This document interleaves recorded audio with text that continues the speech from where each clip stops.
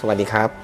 ผมดรคุณานันท์สุภาพเจริญนะครับ เป็นผู้อำนวยการสถาบันเทคโนโลยีการบินและอวกาศนะครับ แล้วก็ปฏิบัติหน้าที่รักษาราชการแทนรองอธิการบดี ก็รู้สึกเป็นเกียรตินะครับ ที่วันนี้เนี่ยทางสถาบันเทคโนโลยีการบินและอวกาศ มหาวิทยาลัยเทคโนโลยีราชมงคลตะวันออก ได้รับเกียรติจากท่านนายก เทศมนตรี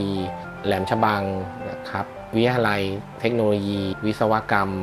แหลมฉบังนะครับ กับท่านผอ.ทัศนะ ท่านให้เกียรติเป็นอย่างสูงนะครับ ที่ให้ความกรุณาให้โอกาสทางมหาวิทยาลัยนะครับได้ความร่วมมือนะครับต่อยอดในอนาคตนะครับก็มีทางด้านวิชาการนะครับ ทางด้านบุคลากรนะครับ แล้วก็การแลกเปลี่ยนความรู้นะครับ แล้วก็พัฒนาสู่ทางด้านบริหารธุรกิจรวมถึง อุตสาหกรรมบริการในอนาคตอันใกล้นะครับ แล้วก็รวมถึงการพัฒนาหลักสูตรที่เป็นลักษณะ short course credit bank นะครับ แล้วก็เป็น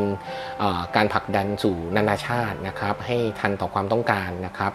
โดยเฉพาะอย่างยิ่งนะครับ เราเป็นพื้นที่ของ EEC นะครับ เรามุ่งเป้าไว้ว่าเราอยากให้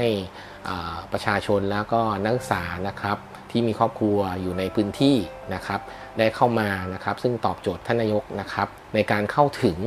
นะครับการศึกษาที่อยู่ในพื้นที่ที่อยู่ใกล้ครอบครัว แล้วก็ไม่เสียค่าใช้จ่ายของการอ่าดำรงชีวิตในการเรียนนะครับมันคือไม่ต้องไปไกลนะครับ ยังอยู่กับเราในพื้นที่ด้วยเหตุนี้แหละก็เลยเป็นที่มาที่ไปของการเกิด MOU ฉบับนี้ขึ้นมานะครับ แล้วก็หวังไว้เป็นอย่างยิ่งนะครับว่าทางมหาวิทยาลัยเนี่ยจะได้รับความมันเคาะจากท่านนายกนะครับแล้วก็ท่านผอ